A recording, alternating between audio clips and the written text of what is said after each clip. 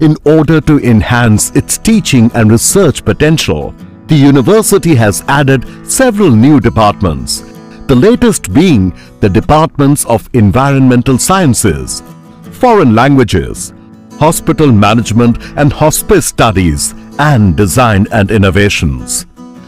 Jamia boasts of a state-of-the-art central instrumentation facility for national researchers and an advanced characterization laboratory in the Center for Nanoscience and Nanotechnology.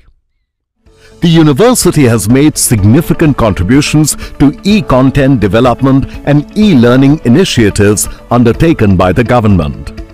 The AJK Mass Communication Research Center has produced over 3000 syllabus-based e-content and video programs.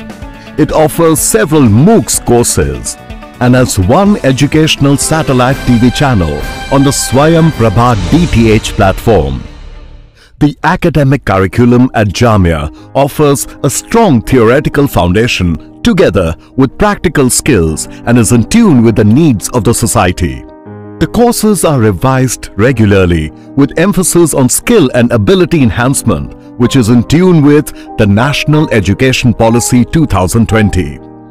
The university lays emphasis on research and development.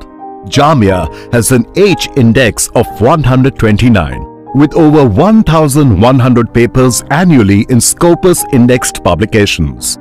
Over 400 books and book chapters are published every year by faculty members of the university.